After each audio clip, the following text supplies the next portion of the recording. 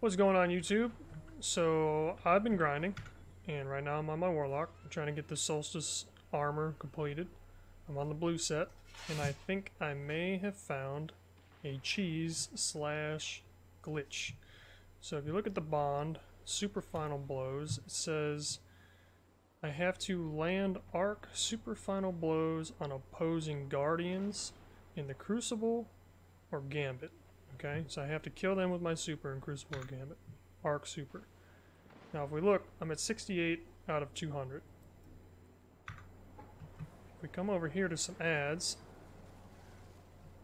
I'm just gonna pop my super, get some kills. Kill some of these dudes. Remember, I was at 68. Come over here. Kill this guy. See how many we can get during this super. Alright. So now, let's check again. 75. So you don't even have to do this in Gambit. Right now I'm on Titan, and the patrols that I had to do were on Titan, so I don't know if this is because I'm on the planet that the patrols are on, maybe it's glitched that way.